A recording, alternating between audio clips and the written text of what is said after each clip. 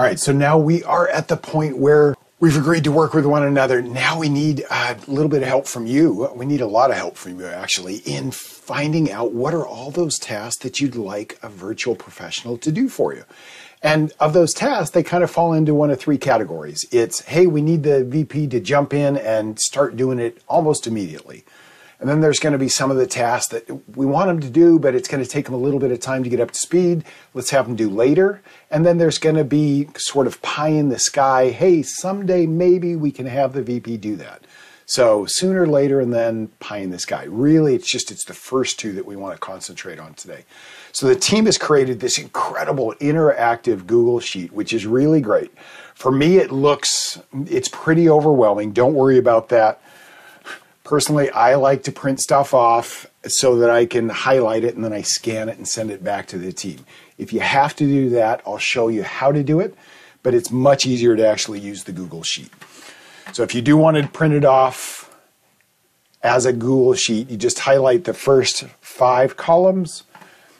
You hit the print icon, you go over to the drop down menu here and click selected cells and see how that just tightened everything up. And now you can actually read it but we don't want to do that. What we do want you to do is just go through and on every one of these tasks, you don't have to mark sooner or later, but on the things that are a sooner or later, go ahead and just highlight. So schedule appointments.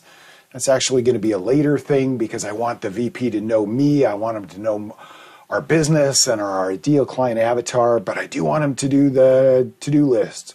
I do want him to prioritize my deadlines and help with my inbox.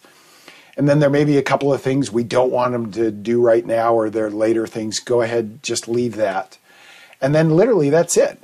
All we need right now are just these first two columns highlighted. What's really slick about this document is if you do it in Google Sheets, the team gets access to it. We're able to share it with the VP when they come on board. And then this document becomes the backbone for you actually to build your systems library.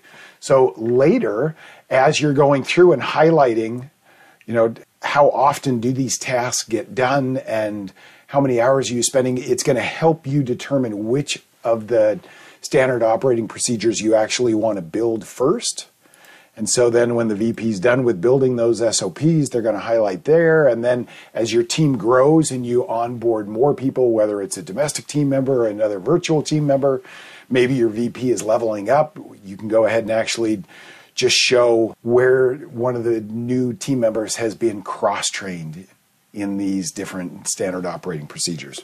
So that's it. Super easy. 200 and something tasks that a VP could do for you. What are those tasks that you think that you're going to want the VP to do? And then there's blank section at the bottom of the Google Sheet to go ahead and give us more things that are more specific to your industry that we may not have thought about. Thanks so much for your help in this. We look forward to finding you the right VP.